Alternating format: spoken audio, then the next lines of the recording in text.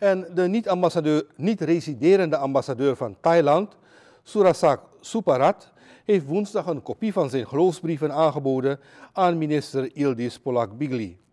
Suriname en Thailand onderhouden sinds 24 februari 1987 diplomatieke betrekkingen.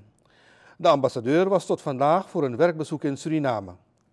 In samenwerking met de Kamer van Koophandel en Fabrieken is gisteren een roadshow georganiseerd met als doel de mogelijkheden te presenteren op het gebied van handel en investeringen.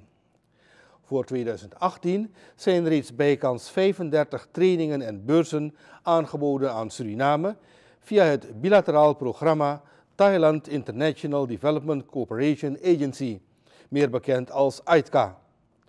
Ambassadeur Suparat gaf aan dat Thailand middels het concept van Zuid-Zuid samenwerking veel kan betekenen voor Suriname.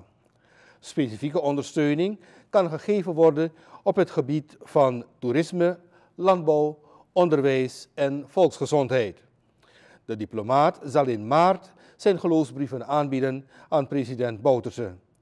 Van die gelegenheid zullen de regeringsfunctionarissen gebruik maken om verdere gesprekken te voeren met als doel tastbare resultaten te verkrijgen.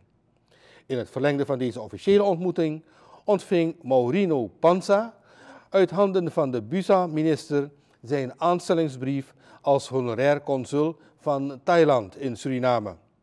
Zowel de minister als de honorair consul zijn het erover eens dat deze benoeming moet worden aangegrepen om de mogelijkheden van de landen tot wederzijds voordeel te doen strekken.